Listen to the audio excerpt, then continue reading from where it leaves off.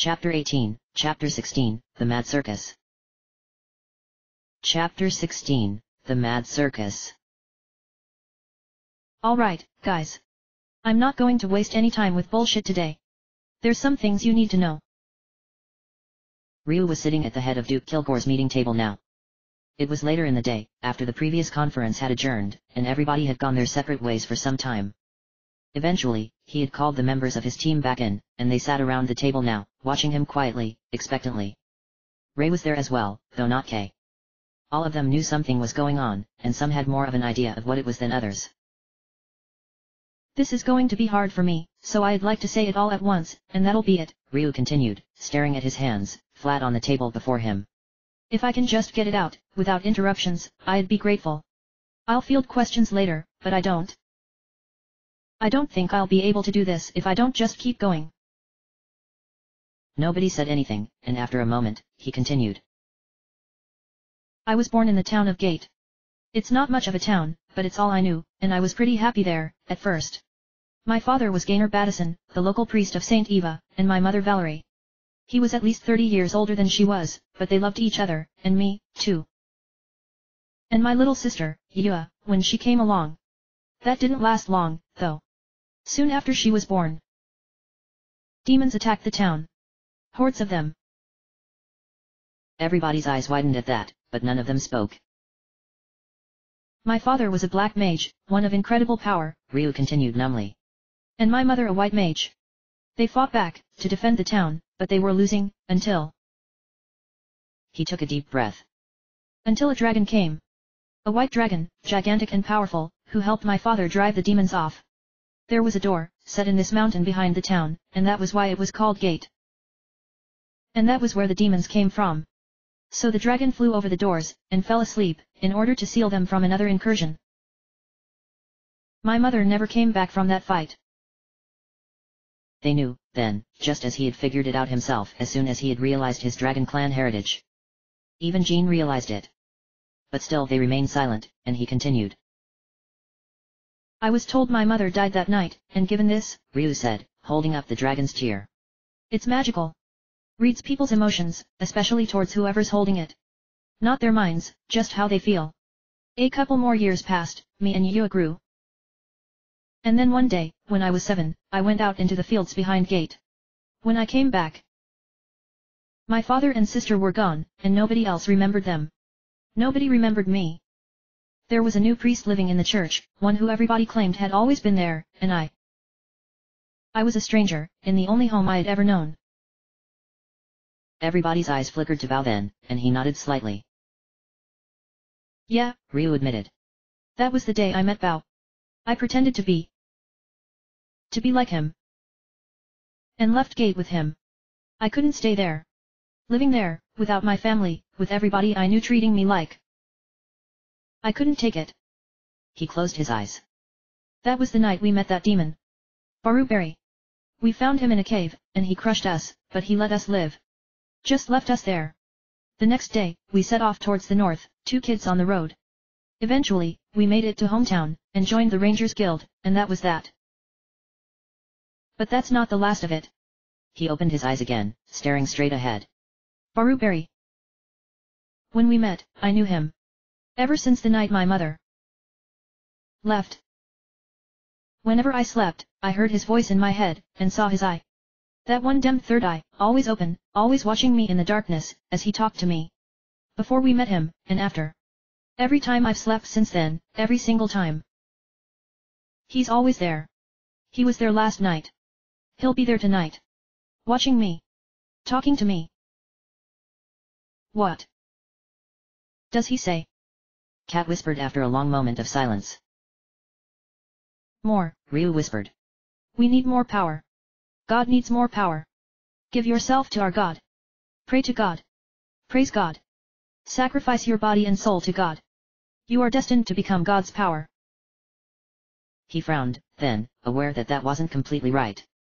The words had been changing, slightly but definitively, over the recent months. It's not always exactly the same. Sometimes it's a little different. But that's the gist of it. Everybody shivered, even Jean. I've tried to put it behind me, all these years, Ryu wound down, staring at his hands again. I always knew there was something about that. That would come back eventually. But I thought I could run away from it, if I just tried hard enough. That if I forgot it all, it would forget me, and I could just be a normal guy, with a normal life. Get some people together I could trust, and who trusted me, and make a living busting heads. Now, I'm not so sure that's going to work anymore. He waited a moment more, then stood, and left quietly, not looking at them. He could tell, all the same, that every eye in the room was on him as he departed. There was a balcony, up on the top floor of the manor, and he went up there, with luck, it wouldn't be occupied. It wasn't, and he sat up there, alone with his thoughts, to stare at the sky for some time until it began to take in the fire of sunset. That was when they started to come, two by two, to speak with him about their future. Hey, man, Bao said, as he and Kat walked out onto the balcony. Doing all right. I've been better, Ryu answered honestly. Can't blame you for that, Kat admitted. You're doing a lot better than I would, if I was in your shoes. I think you would do okay. Ryu glanced at Bao. Sorry about not being straight with you for all these years. It's cool, man, Bao assured him. I'd have done the same thing. He shook his head ruefully, grinning slightly. Honest? When you told me all that, I was actually kind of glad that you could at least remember your parents. I wish I could, but they're... They're just a blur, by now. I always thought it was the same for you. I'm not gonna get pissed because it's not. Bao's parents, a forest clanswoman and a grass runner clansman, had had him in violation of the global laws against inter-clan reproduction, and they'd been executed for it when he was very young. Same here, Kat agreed. Always thought that was something the three of us had in common, you know? The whole parents thing. Kat's parents weren't necessarily dead, they'd simply abandoned her as soon as she was able to walk and talk. Apparently, it was tradition among the Warren clan. Rand and Sten don't talk about their pasts, but I'm pretty sure they knew their parents. I don't mind being wrong, though. Not about that. She smiled wistfully. Thanks, guys. Ryu smiled as well, though his heart wasn't in it. So. What do you think we should do? Kat and Bao exchanged a glance. That's up to you, man, Bao told him, and Kat nodded. You're the one who this Baru Barubary freak is stalking. It's your call whether we go take him on, or try and lose him. No, it's not, Ryu disagreed. We're all in this together, and this decision doesn't just affect me. If we take the job, and go down this road, it's all of us who might not walk back off of it. He shook his head.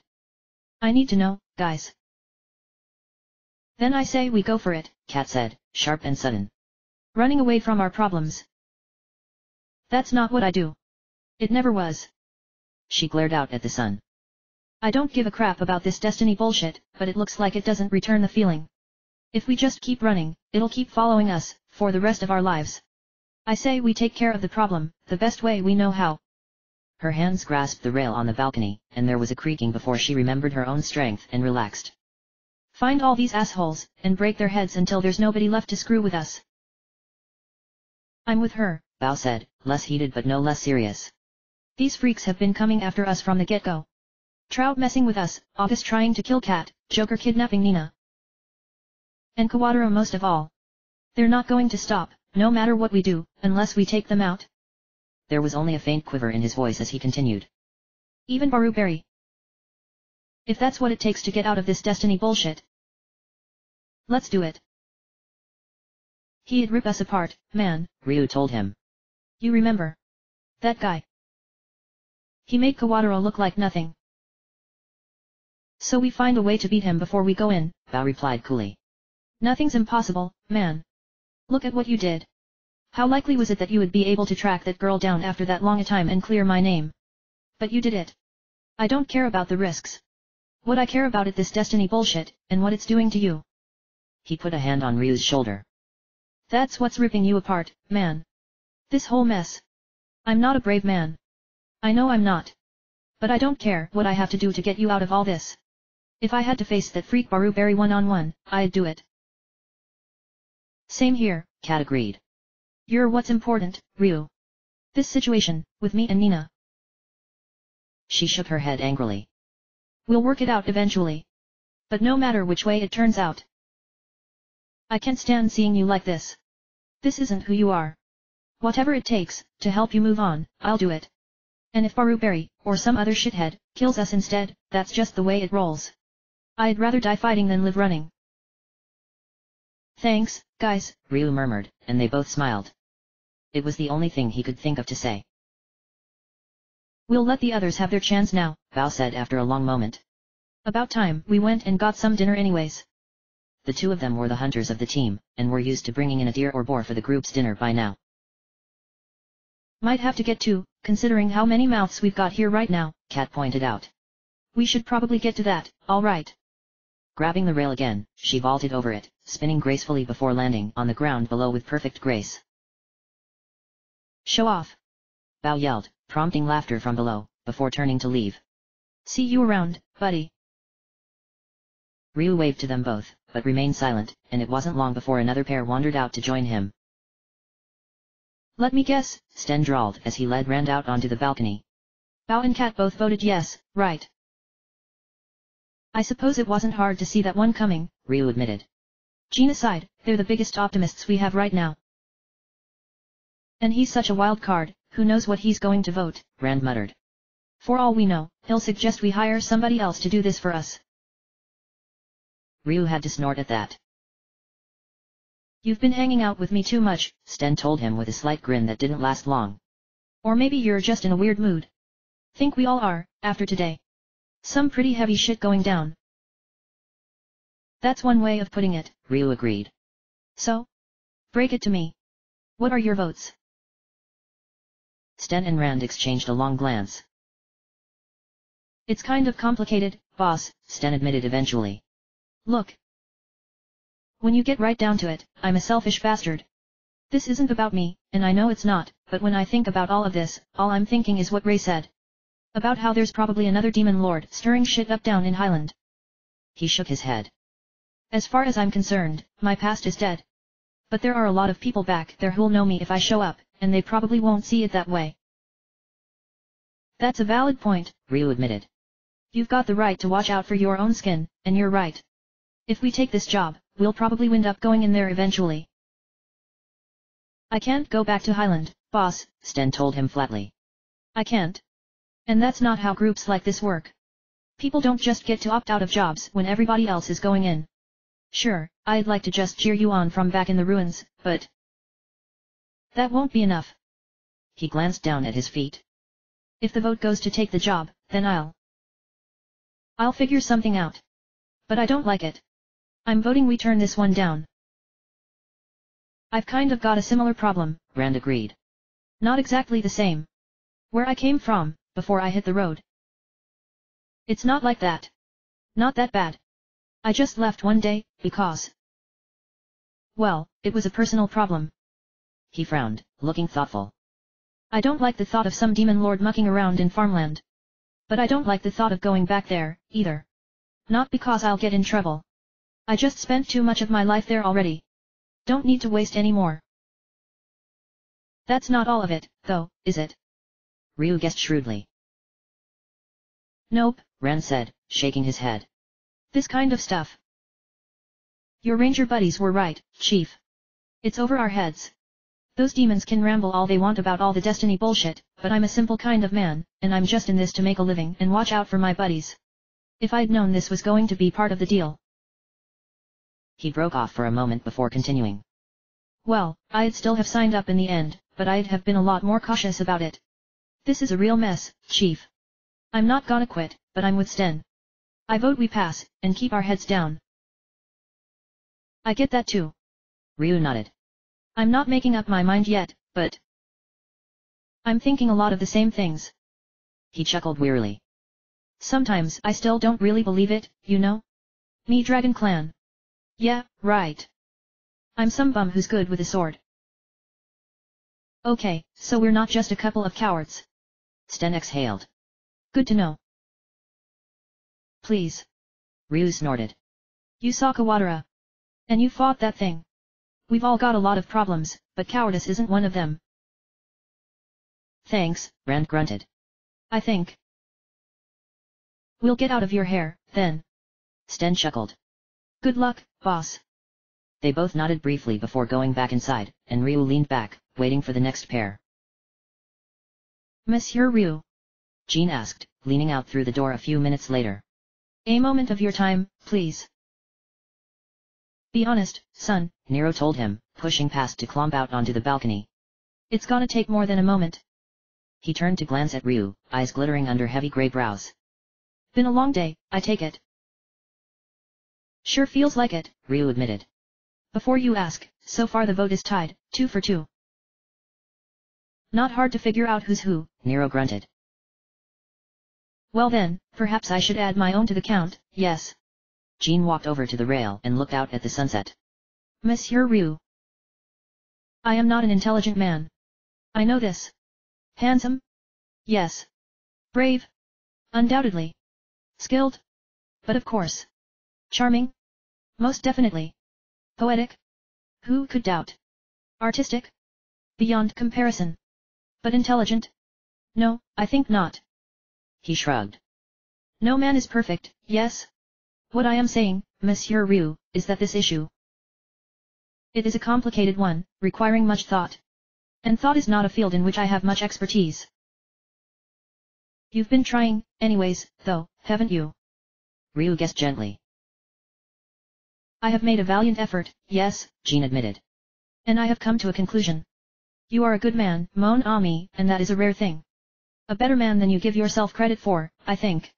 All of our friends are good men and women. And though I know it is naive, I cannot help but believe that in the end, no matter how dire circumstances may grow, that good men will always triumph. He looked back over his shoulder at Ryu and Nero. We Slukawatara. I am sure that we will be able to do the same with all our foes. Monsieur Ryu. I honestly believe we can do this. Three for yes, then. Ryu nodded, smiling slightly.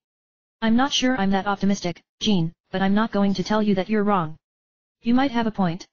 It's certainly one worth voting for. He glanced at Nero. And you? I'm stayin' out of this, the old man told him bluntly. What's the word? Abstainin'. Somebody's got to, or else we'll probably end up with a tie, and that's no good. Could always ask Ray to break it, if it comes to that, Ryu pointed out.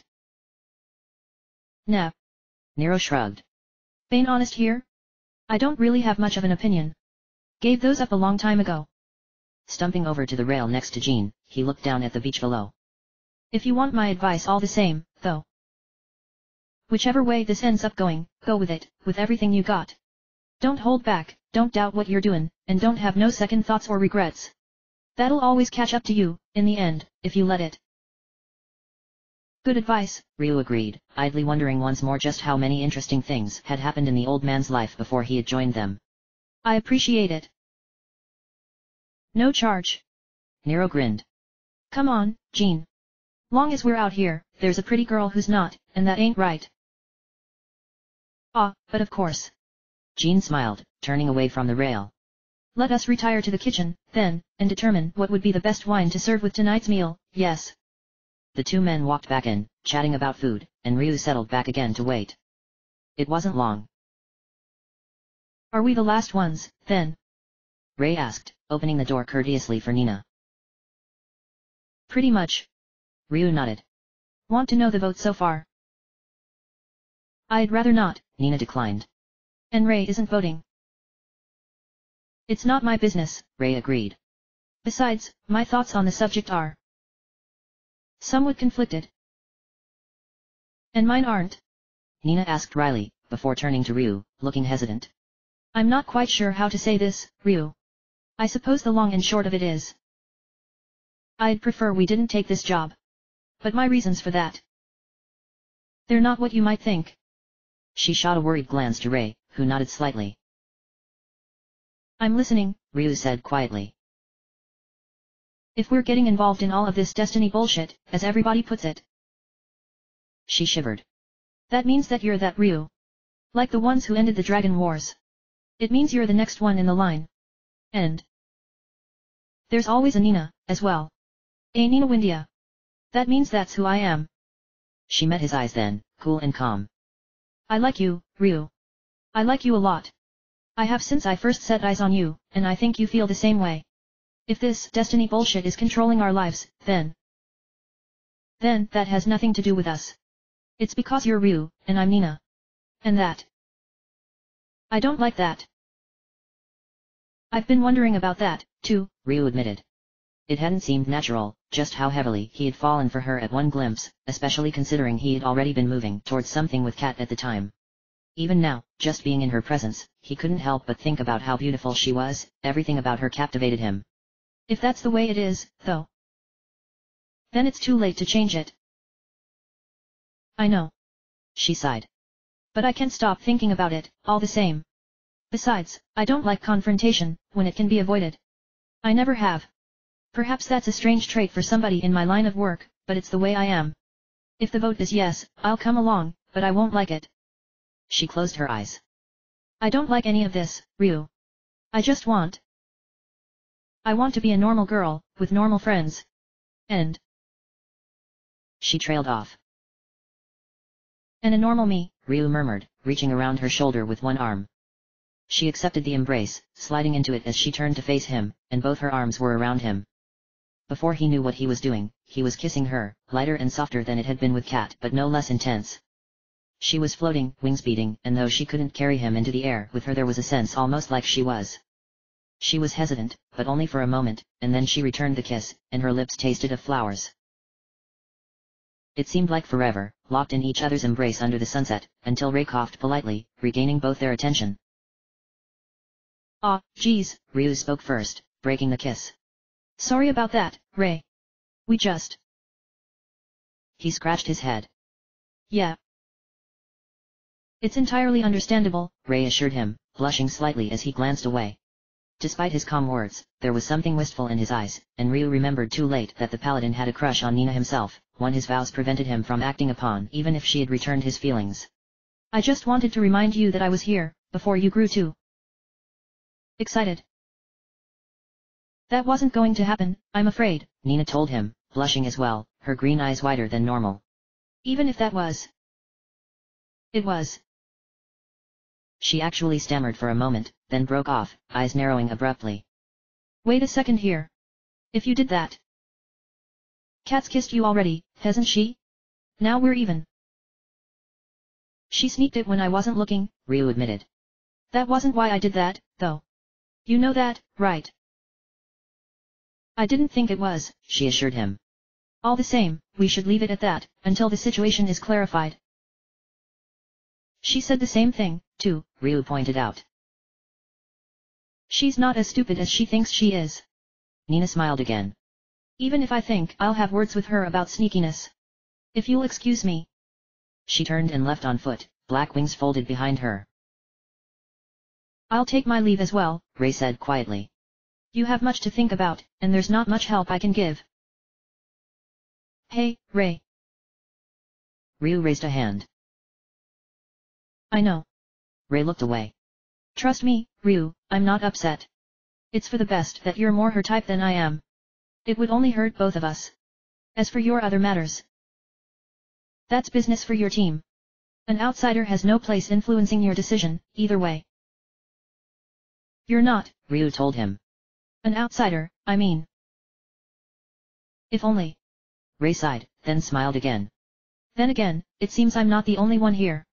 You seem to have an eavesdropper on the roof. It's only polite that I excuse myself while she takes her turn to speak with you. He turned to the door, and raised a hand in farewell. May Saint Eva guide your path. I'll see you tomorrow.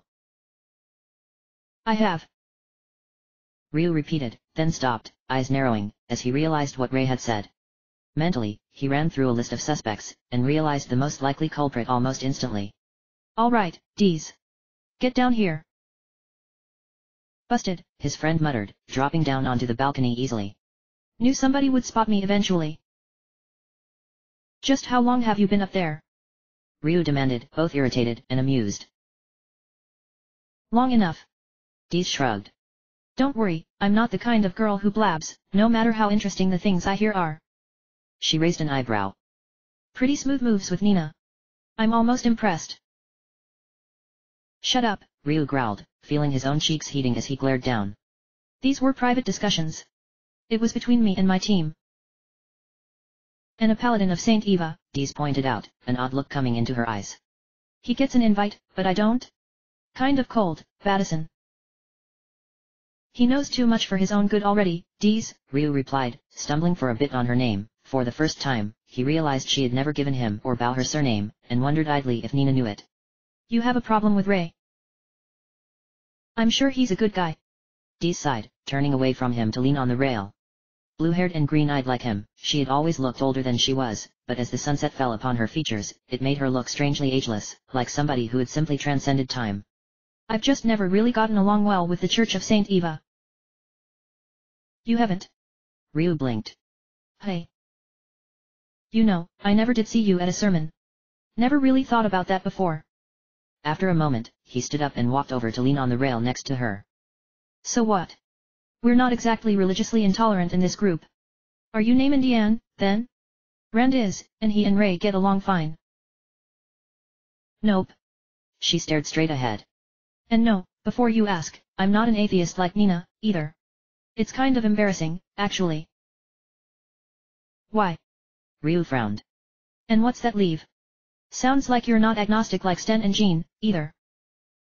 And I don't even know what Nero is, probably variable, so. He trailed off as the light dawned.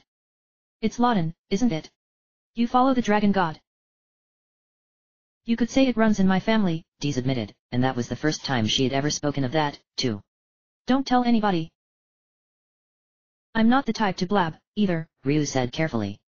They stood there for some time, leaning on the rail, and Ryu silently contemplated how long he had known Dees, ever since first coming to hometown. Despite all the time they had been friends, there had never been any romantic attraction either way, she was more like a big sister, just as Bao had been kind of like a little brother. Eventually, he spoke again. What do you think I should do? About Nina. Dees raised an eyebrow. Well, there's the situation with Kat to consider too, right? You're going to have to make up your mind between the two eventually. Not that, Ryu growled. I meant about this situation. The one you invited yourself to listen to. I'm not voting either, she joked, then grew somber. I don't know what to tell you, Ryu. It's three for three, which means the final vote's coming down to you. The problem with this sort of thing is once you start riding the tiger, it's not exactly easy getting back off.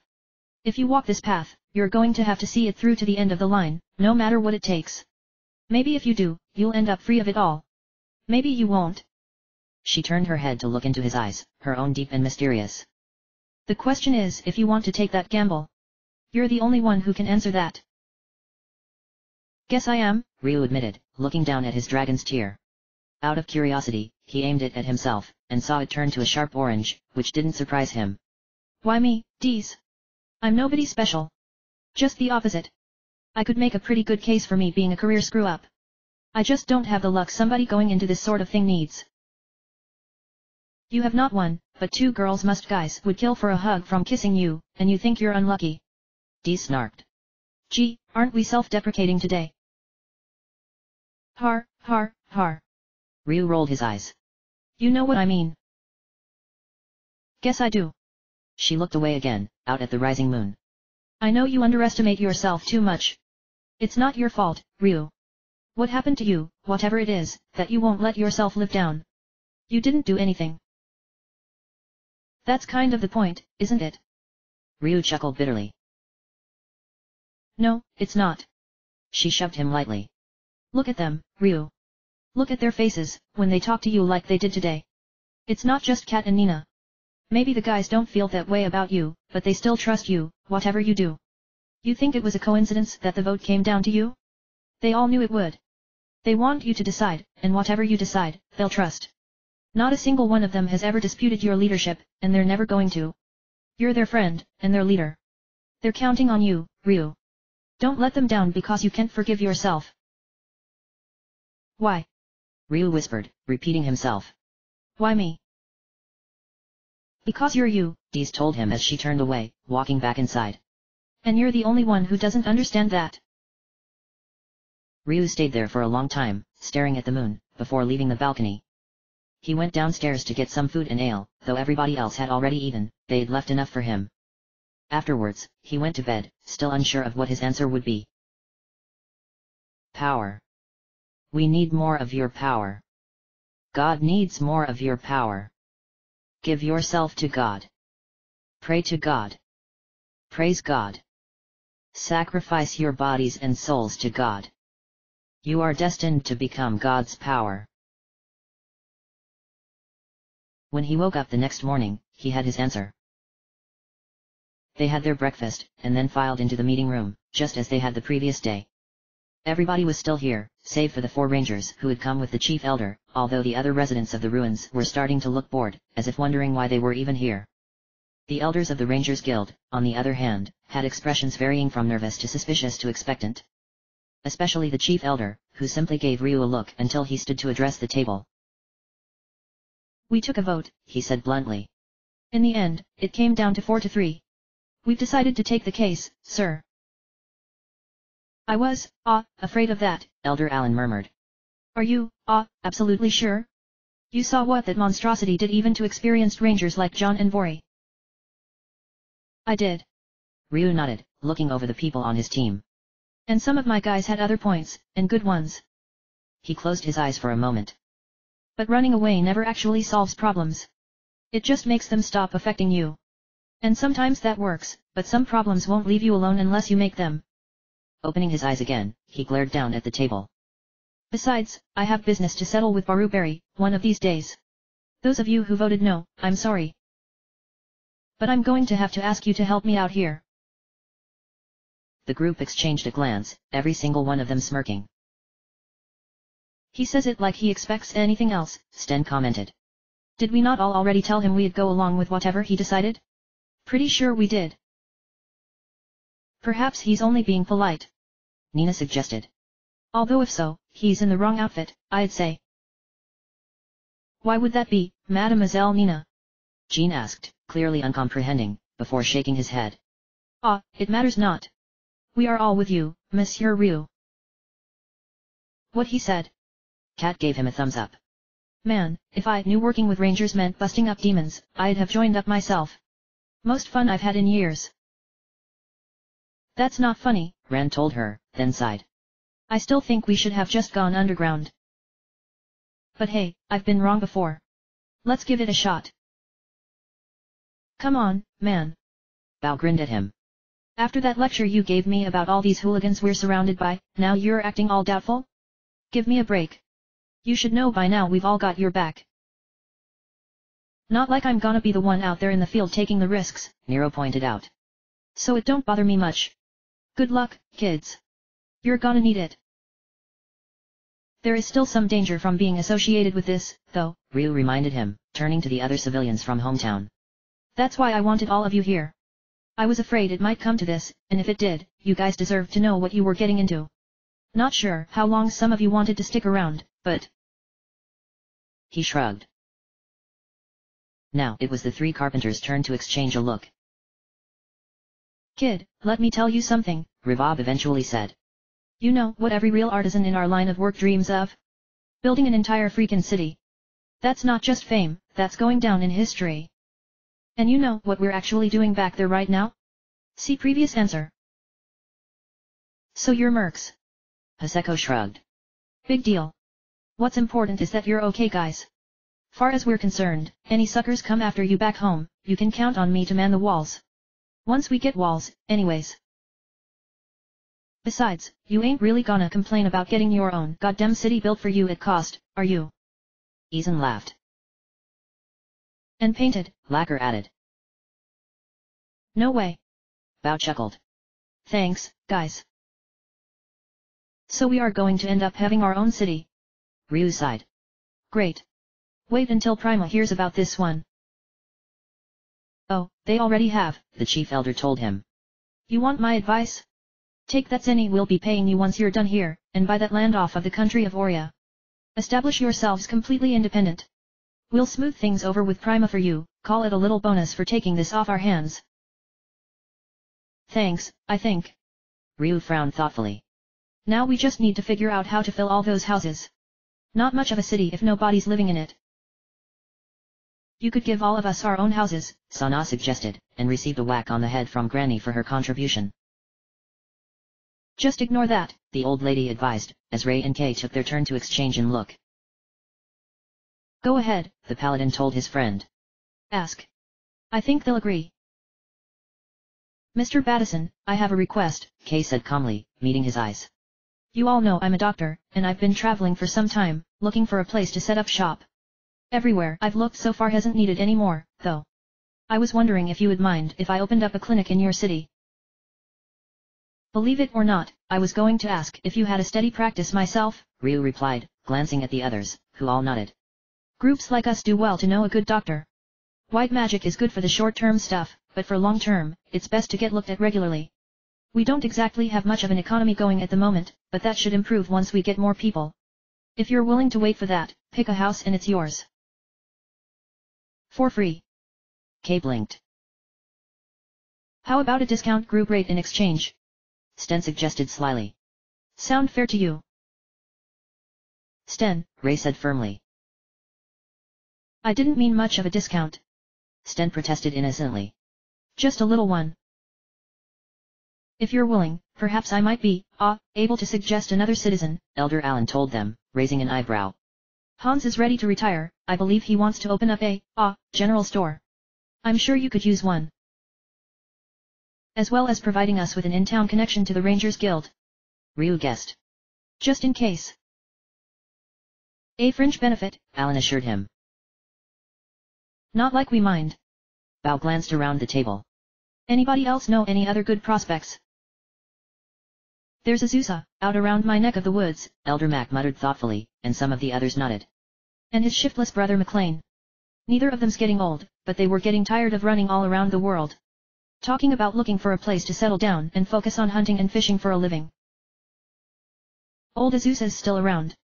Ryu blinked, smiling, looking at Bao. And McLean, too. Man, who would have figured?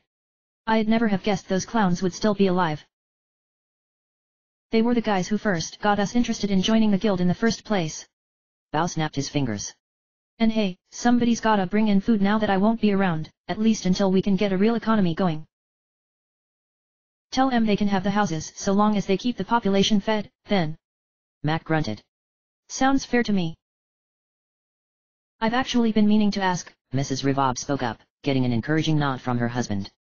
Once we have an actual population, I'd like to open up a restaurant in town, if that's alright with you. I'd always been sort of a dream of mine.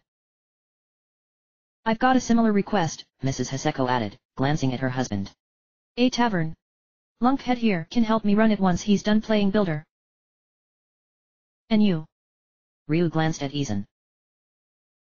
Guess I could run a gambling parlor, if my nephew stopped staring at paint all day and helped me out, the carpenter mused. We're really going for the outlaw town, deal, aren't we? Nina asked dryly. A population under two dozen, and we'll already have both a tavern and a casino. No point in building our own city if it's not going to be our kind of place, is there? Kat told her. That's something else to bring up, I think. Ryu glanced at the chief elder. Like they just said, this isn't exactly going to be a law and order kind of place. We're not going to be too picky about who moves in, as long as they play by the rules, and if it comes down to any of them against the rest of the world, we'll be sticking together. Is that going to be a problem? Get real, kid. The chief elder snorted. Why do you think the world didn't mind a place like Bleak for hundreds of years? There are some advantages to having a wretched hive of scum and villainy around. No offense to your families, sirs and ma'ams. Some folks think those ruins of yours might even be bleak. Far as I'm concerned, that's fate, right there. He narrowed his eyes. I'll ask you one more time, then. You're sure about taking this job? We're sure. Ryu nodded, and knew without looking that every single one of the team had nodded with him. Any advice for us, sir? Yeah. The chief elder steepled his hands. According to John's report, every one of the trees in Gate is dead or dying, except for one. There's a wise tree, up in Gate. How much do you know about the Grassmen? They're the only clan known who evolved from plants, rather than animals, Nina replied. What's known as the Grassman is actually the second stage of a life form whose shape changes dramatically at several points in their extremely long life. The final stage is, in fact, a sentient tree, although only other grassmen can communicate with them. Due to their low population and little interest in society, they have no presence in Prima, and thus are not recognized as a legal clan, despite generally being much more polite and civilized than most outlaw clans. I get it. Rand snapped his fingers. This wise tree up near gate might know something about what's going on up there, but those guys couldn't find out, because they couldn't talk to it. Bingo. The chief elder nodded. You want my advice, kid? Find a grass man, and talk him into playing translator for you. Hey, wasn't there one of those in a traveling circus? Kat drummed her fingers on the table. Went and saw it a couple months before I met Ryu. We saw it too. Bao glanced at Sylvia and Dees, who nodded. Seemed like a shady bunch of guys, for the most part. Wait a second here. Ryu turned to Ray. You said this conspiracy uses groups like that as their couriers, right? Correct. Ray nodded. You think that the circus in question may be involved? The man in charge was pretty buddy-buddy with Trout, Ryu growled. And they sure as hell weren't running a clean operation. You won't simply be able to bust in and kill them all, though, the chief elder warned them. And finding proof that he's a demon won't go over well. You'll need to either nail them on something else, or do it legally. We'll figure something out, Ryu promised. What's more important is finding out just where that circus is right now. Tunlin, Sten told him. It's the Circus Maxi Tusk, right? They were set up near Windia when I met you guys. Gave me a job offer, since I was doing the whole magician act at the time, but I turned them down. Didn't like the looks of them, hey. Rand guessed. Nah, I ain't too picky about the guys I hang out with, Sten joked. It was because they told me they were going to Tunlin next. I had just been there myself not too long ago, and my act got about as good a reception as selling fried figs would have. That long a trip, they'll probably still be there. Good thing we just got that sea travel thing taken care of, Ryu muttered. Alright, then, we're going to the Isle of Tunlin. Sea travel. Ray raised an eyebrow. Don't ask, Kat advised him. You really don't want to know. Will we not have issues communicating? Jean asked. On the Isle of Tunlin, I have heard, they speak entirely through music. That's the locals, Nero grunted. Shouldn't have too much trouble if you just want to talk to the circus folks. All the same, I'd feel better if you took the magic hood with you, Duke Kilgore said, referring to the ancient treasure whose theft had started the entire mess. It's enchanted to translate any language on the planet. It won't let you talk back to them, of course, but you'll at least be able to understand what they're saying. Our thanks, Your Grace. Ryu nodded. We'll put it to good use. He looked around the room. Is there anything else, then? You are going to be careful, aren't you? Sylvia asked, in an unusual tone for her, it was small and hesitant, and she was looking at her feet. I know you're all strong and smart and capable, but... I still can't help thinking. She shuddered. Demons. You're going out to hunt down demons, worse ones than before. I know, Sylvia, Bao told her, smiling slightly. But it's like you said, right? We know what we're doing. Hell, I almost took down Trout all by myself. He winked. Trust us, okay? We're gonna kick ass and get rich, and what we're not gonna do is die. We're not going anywhere, any of us. Promise. You always used to say things like that, Sylvia murmured, and Ryu and Dees nodded. And I'd just laugh, because I'd know you were just going to get yourself into trouble again, like you always did. This time, though. You really mean it, don't you? She looked up and met his eyes, and then she smiled. When did you start growing up so much, Bao? Me. He chuckled, scratching the back of his head. Growing up? Come on, Sylvia, that's crazy talk. Then I must be crazy, she replied, standing up. Which gives me an excuse for this, at least. Before anybody else realized what was happening, she had pulled Bao out of his chair as well, seizing him in a firm embrace as she kissed him, long and slow. He looked stunned for a moment, but then his arms wrapped around her in return. Woo, hoo. Kat cheered after a few moments of surprised silence around the table. That's the way to do it. Well, Dees murmured, smiling as well. It's about time. Does this happen often, over in hometown? The chief elder inquired dryly. Not as such, no, Elder Allen muttered, putting a hand to his mouth to hide a smile. good grief. I can't keep up with you kids. No comment, Ryu said, rolling his eyes. you promised, Sylvia told Bao, clearly not hearing any of the commentary. that means you can't die, Bao. You have to come back to me, now. You promised you would. I did, didn't I? Bao replied, slightly wonderingly. Yeah, I did. And I meant it, too. How about that? Guess you're right, then. He shook his head. I still don't know why the hell you would go for a guy like me, but if you've made up your mind. You've got yourself a deal. This job, and the next job, and the next. Yeah, I'll come back to you. Every single time. You had better. She rested her head on his shoulder. You had better, you louse. You promised. The meeting broke up after that. The elders left first, warping back to their own respective cities, the Simon one taking Patabe with him. A mage in the employ of Duke Kilgore conveyed Mina back to Windia similarly, after a private farewell between her and Nina, and shortly afterward, Dees warped Elder Allen and Sylvia back to hometown. Ray was the last to leave, offering to drop the residents of their new city off before returning to the Isle of Guns, including Nero. That left the Duke and the rest of the group. Thanks again for everything, Your Grace, Ryu told Kilgore, shaking his hand, as they stood outside the manor's door. I know I've said it a dozen times already, but there's really no way to say just how much we owe you. And as I've told you just as many times, it's the least I can do for getting you all into this mess in the first place, Kilgore replied, smiling slightly. It seems my part in this adventure is more or less concluded now, but if you decide to follow the Elder's advice and make that land purchase, let me know when you're ready. If I can't help negotiate a good deal on the price for you, I'll give up my title and take a vow of poverty. We'll keep in touch, Ryu promised.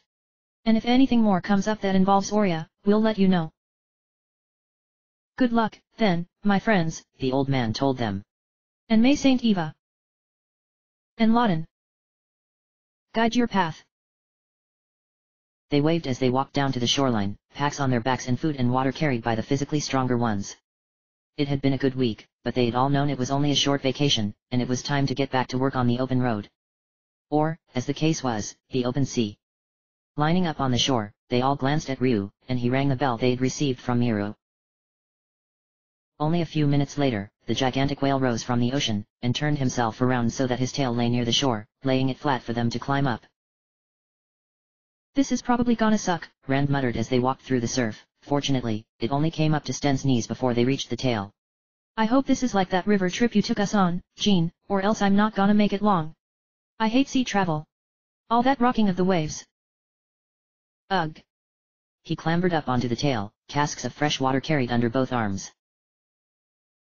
Consider this, then, Nina told him, flying easily to the top of the whale. Tunlin is quite a long ways away. What would be worse? A high-speed trip lasting only a few days, or a slower one that took all week. Come on, be nice, Sten told her, smirking, as he scampered up the whale's back quickly. And yeah, I know how ridiculous that is to hear from me. Cheer up, everybody. Kat grinned, doing the same with just as much agility despite the bulky packages of food she was carrying. We're riding across the friggin' ocean on a whale's back. How is that not cool? She's got a point, Bao agreed, making his way up the slope slowly but surely. Gotta admit, this right here? Never thought I'd see the day. Riding a whale. Enough said. All the more reason to enjoy the journey, yes. Jean said, hauling himself up next to him. Ah, life is such a wonderful adventure. Right. Ryu chuckled, stepping around the whale's blowhole and sitting down at the front of its head before leaning over. Hey, big guy. You can understand me, right? In response, the whale spouted, showering them all. Think that was a yes, Chief, Sten muttered. Cool, Ryu continued, ignoring the dirty looks they were giving him now. Listen, we need to go to the Isle of Tunlin. Know where that is? The whale spouted again as it swam away from the coast, quickly picking up speed until it was knifing through the water towards the east, back steady and flat despite the waves crashing all around them. Feeling okay? Kat asked Rand. So far, he grunted, eyes closed. As long as I don't look. Ask me again in an hour. The trip was boring, but there were worse things in life. They continued east across the ocean, the whale carrying them without complaint, for several long days, it was fortunate that they had planned ahead and brought water and food, since there was no way to stop for any. Even so, it wasn't long before they were all sick of nothing but dried rations. A week after departing Kilgore's Manor, they finally sighted the Isle of Tunlin, a tropical paradise south of Camlin and west of Oria. The only inlet was at the south end, from there, the sides of the island rose until the northern side, a sheer 40-foot cliff. That, of course, was where the capital city was located, the only major place of habitation on the island. Palm trees dotted the gentle uphill slope, and tropical birds flitted among them. It would have been picture perfect, were it not for the giant, ectomorphic stone golem lurching its way up the beach as the whale approached. Is that normal? Nina asked, raising an eyebrow, as they watched it lumber around from a safe distance offshore, the whale had halted there at Ryu's request. Oh, one of those things, Sten grunted, glancing at it. I hate those things. It'll take us all day to kill that. I don't think it's seen us yet, Bao pointed out. It's just keeping on going. Looks like it's walking off, Rand said, shaking his head. Good grief. If that's the kind of monster they have on this island, it's a good thing it won't take us long to get up to the city. Spending all day fending freaks like that off isn't my idea of a good time. Alright, take us in, Ryu called down, and the whale obliged, bringing its tail up to the shore. They climbed off, and once they had, it turned around again to call a loud, strangely melodic farewell. Only then did it dive under the ocean once more, as they waved farewell. Once it was gone, they turned and began hiking up the island. With luck, we won't even need to go into the city or bother any of the natives. The circus should be set up outside the walls. We'll just go in and take care of business, simple as that. So what's the plan? Sten asked. I'm guessing we probably shouldn't just stroll in there. Bunch of mugs like us try that, they'll figure out some things up real fast. Well, there's me and Nina, Kat suggested. We pretend we're on a double date, that's four of us covered. Such a pity we did not consider such things earlier, or perhaps we could have brought Mademoiselle Sana along for Monsieur Sten as well, yes. Jean sighed. And Mademoiselle Sylvia for Monsieur Bao, as well as dividing myself from Mademoiselle Sisso. Then we would all have a perfect cover. Not sure I'd want to put up with Sana on that whale for a week, Bao grumbled. Besides, I already took Sylvia to this place. Don't get your hopes up, it's not gonna be worth the price of admission. He glanced at Jean and Sten. If Rand's with Kat, then the three of us could probably pull off the three drunken stooges routine. Whatever works is cool. Sten shrugged.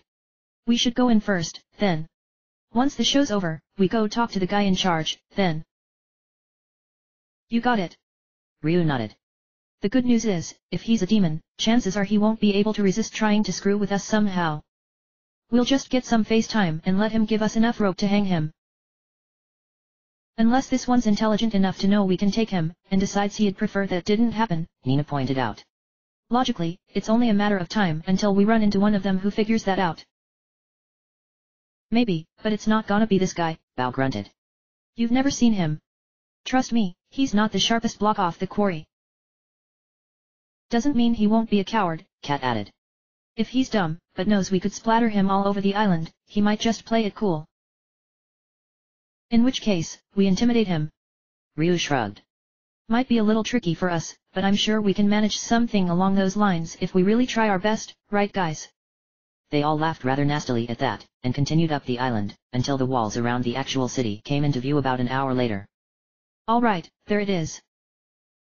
And there's the circus. A huge, brightly colored tent had been set up outside the walls, and there was a trail of people walking out of it, back towards the nearby capital. Looks like they're just finishing up a show, Bao pointed out. Bad timing on our part, I guess.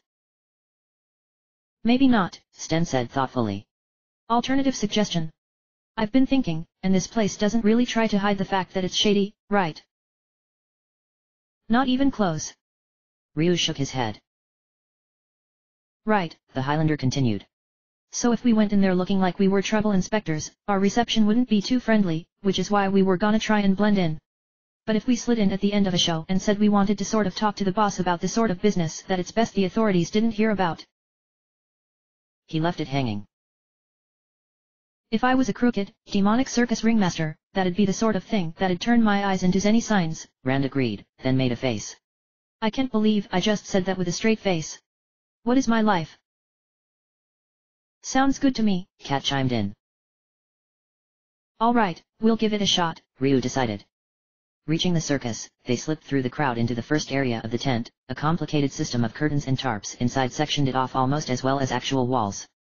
A couple of bruisers were standing at either side of the entrance, and a bored-looking young man with dyed pink hair lounged behind a counter. Show's over, he told them laconically without even looking. Next one's in four hours if you want a ticket. Thanks, but no thanks, Ryu replied, leaning on the counter and doing his best to look sleazy. Actually, we're here on business. How's that grass man doing, these days? You kidding? The man behind the counter snorted. Nobody gives a shit about him anymore. We're already planning his farewell performance. Opening his eyes, he looked Ryu over and smiled slightly. Maybe that'd be more to your liking. Two weeks from now, we're putting him on stage one last time, along with a certain monster. Ever heard of a creon? Thought those were supposed to be extinct, Ryu said glibly, fighting a chill. They had seen creons before, when the city of Capitan had been infested with the insectoid monstrosities. Grassman by himself probably wouldn't stand a chance against one. That's the idea. The counterman laughed cynically. It's what you call a specialty show. Some folks pay a lot of zenny to watch something like that. Tempting as the idea sounds, we might have an even better alternative, Ryu explained smoothly. See, we know this guy who's interested in grassmen, and he asked us to stop by here and talk with your boss about that. Could be you guys might be able to make even more zenny than you would at the show, if you know what I mean. That a fact. The counterman's eyes narrowed. The boss might just be interested in something like that. Problem is, we can't let anybody go through without a ticket, even if the show's not on. He glanced at the toughs, who nodded. But hey, if you guys work for a big spender like that, a hundred zenny ahead should be chump change, right? A hundred zenny per ticket. Sten sputtered. That's ridiculous. Easy, man, Bao cautioned him. The big man will reimburse us for this if the deal goes off, no sweat. What he said, Ryu agreed, forcing himself to hide his wince. Let's pony, up, people. Walking forward, each of them put a hundred zenny on the counter, some of them muttering more than others. Pleasure doing business with you. The man tossed a string of tickets at Ryu. The ringmaster will be in the back, with that grassman's cage and old man Watts. Right. Ryu nodded, glancing back at his team and jerking his head towards the back, and they walked past the bruisers. The stage was empty, as were all the seats around it, and the bar as well. Walking further back, they passed stacks of equipment, and cages containing animals and monsters. More of the staff were taking care of everything, but they didn't seem to care much about the intruders backstage, perhaps they assumed that if they had been allowed through, there was a good reason. That's a creon, all right, Nina murmured as they passed one cage, and the giant blue insect slammed against it, hissing at them. That confirms that suspicion of ours. Seems that way, Sten muttered back. At the rear of the backstage area was a cart that had been converted into a cage on wheels, with red curtains over the barred front. The grassman sat inside, back to the wall, staring into empty space, a humanoid of green leaves and white pink petals. An old man was in there as well, putting bowls of food and water on the floor, he had been running the bar when Ryu and Bao had been there last. Come now, Watts, don't be all day at it. The ringmaster of the circus boomed from outside the cage. Tall and buff, he wore a sparkling blue tunic and tights, along with a cape and a ridiculously tall top hat. His long silver hair was elaborately curled, as was his gigantic mustache, and his grin gleamed as much as his clothes. We can't take any chances on letting the property escape so close to the final performance, after all. Dilly-dally, and I might just accidentally lock you in there with him. He laughed, then turned, seeing Ryu approach. Aha! And who might you be? My name's Ryu Bateson, and these are my team, the Dragon Kin, Ryu said, nodding slightly as he checked the dragon's tear, and was unsurprised to see it showing the noxious black that identified a demon. We're a group of private adventurers. One of our clients has asked us to stop by and see if you would be interested in a business opportunity involving Leafy over there. He inclined his head towards the grass man. Is that so? The ringmaster murmured, twirling one end of his mustache. Interesting. My name is MC Jonathan Tusk, and I am owner and leader of the Circus Maxi Tusk. I'm glad to meet you, Mr. Bateson, although... He glanced at the cage. I can't exactly see why you would be interested in this useless creature. Nobody wants to see him anymore, although we do have high hopes for his farewell performance. He suddenly lunged at the cage, rattling the bars. You hear that, Grass? Everybody's going to come to see you get even, and Creons always save the head for last. Ha ha ha ha ha. The grassman showed no sign of even hearing him, although the old man's eyes narrowed as he stepped out of the cage through a door in the side, locking it behind him. You see. Tusk sneered, stepping back. Pathetic. He just sits there all day and all night. He must get up to eat and drink. And other things, of course, if grassmen even do that. But we never see him move. He's practically dead already. What could anybody possibly want with this useless sack of offal? You seem to be enjoying yourself, the grassman said abruptly, and everybody stared at it, startled. Its voice was light and androgynous, identifiable as neither male nor female, and it continued staring at empty air as it continued. Does this amuse you, MC Tusk? Ha! You can talk. Tusk demanded, recovering from his surprise. Well then, all the better. You'll be able to scream and shout when the Creon eats you, piece by piece. Turning back to Ryu, he clapped him on the shoulder. What do you think, Bateson? Hilarious, isn't it? A monster vegetarian show. His eyes, as black as the night sky, sparkled like there were stars inside. Maybe instead of blood, he'll spill salad dressing instead, ha ha ha ha. Oh, I'm looking forward to this. You are too, aren't you? That's what you're here for, to make sure you have tickets. I should have known. Sounds like fun, alright, Ryu lied, forcing a grin he didn't feel and shooting the others a glance, signaling them to do the same, though it would be difficult, Kat, in particular, looked about two steps away from throttling Tusk with her bare hands. But as they say, business before pleasure. We're actually here to discuss an alternative. Our client would like to know if, perhaps, you would be interested in letting us give the poor flower child a new home. For a price, of course. Specifically, a very large price. Interested? Tempting, tempting, Tusk murmured, stroking his mustache. Money does come before personal pleasure, I agree. But you see, this farewell performance is going to be a very profitable undertaking. Based on our forecast, we expect to rake in somewhere around 900,000 zenny. If your employer can match that price, well, then we have ourselves a deal. Otherwise... He shrugged helplessly. 900,000, Sten repeated flatly. A bit steep, Tusk asked, shaking his head. Such a pity. Then it seems the vegetable's fate is sealed.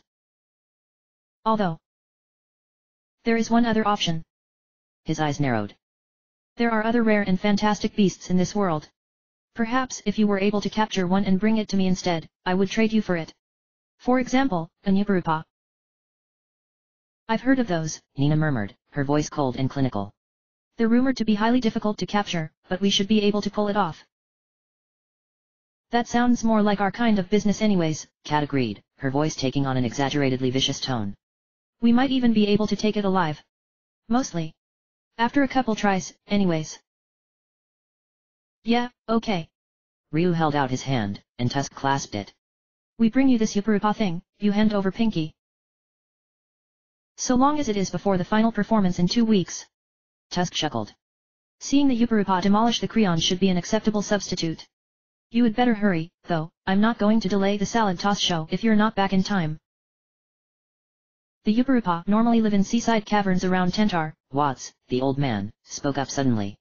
You'll need bait, though, and the only thing that tempt Yuparupa are the owl fruit, found only in a certain forest north of the Windia Camlon border. You've chosen the exact right time, the owl fruit will be ripe, but the Yuparupa pack won't migrate there to devour them for another month. You would never be able to pick one off from that mess, but if you get some owl fruit and find the right cave now, you might have a chance. And did I request your input, Watts? Tusk asked dryly. No, I don't believe I did. Perhaps you should stay out of this, hmm. Sorry, boss. Watts turned away, a resigned look coming over his face. No sweat, chief, Ryu told him. Just want to help your boss make money, right? Man, I wish the mugs I had working for me went out of their way to pitch in. I gotta yell and cuss at M all day to do anything except kill things. They like that part, at least. I imagine so, yes. Tusk chuckled. Well then, good luck, mister. Oh, wait. He snapped his fingers. In order to keep the Yuparupasidate once you've managed to weaken it, you'll need the hold spell. Do any of your group's mages know it? Well. Ryu glanced over his shoulder. Exchanging looks, everybody except Kat shook their heads. I've never even heard of it. Nina spread her hands. It's not a very popular spell these days, I'm afraid, Tusk explained. They haven't taught it publicly for a long time. Fortunately, my ancestors knew the secret, and I've passed it on to all my boys here. Why don't I send one of them with you to help you bring the Yuparupa back once? He smiled, dark eyes glittering once more. I'm afraid ordinary bonds wouldn't work with one of those, you see. Even a steel cage. Well, they're quite feisty. He clapped his hands. Bob. Yeah, boss. A surly-looking ruffian looked up from where he was piling rope in one corner. What's up? These fine fellows are going to catch an Yuparupa for us, Tusk explained, gesturing at Ryu and company. Be a good boy and accompany them so you can use hold and make sure it doesn't escape, would you? Okay, boss. Bob walked over and nodded perfunctorily at the males of the group, while leering at the women. Be glad to help you out, haha. We'll head over to the Owlwoods first, then, Ryu said, jerking his head towards the front of the tent. Come on, you lazy blokes, let's get out of here. Jean, you know that lodge north of the border, right? Think you can warp us there? Of course, Monsieur Ryu, Jean said after a long moment. I assume you would like to spend the night there. Beats camping out on this hellhole, Ryu grunted. We can head out back to look for the fruit the next morning. Let's go. Remember, two weeks. Tusk called after them. Or else your prize is going to be chopped sprouts. Ha ha ha ha ha. Walking outside, they warped to the lodge, Bob following them laconically. Once they walked in, fortunately, he stuck to himself, paying for his own room before taking a corner of the tavern to lurk in with his ale. The proprietor was much more friendly to Ryu and the others, several of them had passed through recently, and the others had met him years ago. After getting rooms, they retired to a table in the tavern well away from Bob, ordering dinner and drinks. Nobody was much in the mood to talk, for obvious reasons, but Ryu made an effort anyways once their food had come. Alright, let's get this on the table, he said, shaking his head. I don't like this job any more than you guys do. Honestly, I'm not sure how this even happened. We went in there looking for an excuse to do a little more demonstrating he's definitely one, by the way and we come out taking a job from him. How did that even happen? This is why I always used to tell you to let me do the talking, Bao drawled. Bad things happen when you try to do it. Shut up. Ryu shoved him. Anyways, I'm not happy with this act, either, but it's for a good cause. If we can get the grassman out of there, that's what's important. I can live with catching some critter.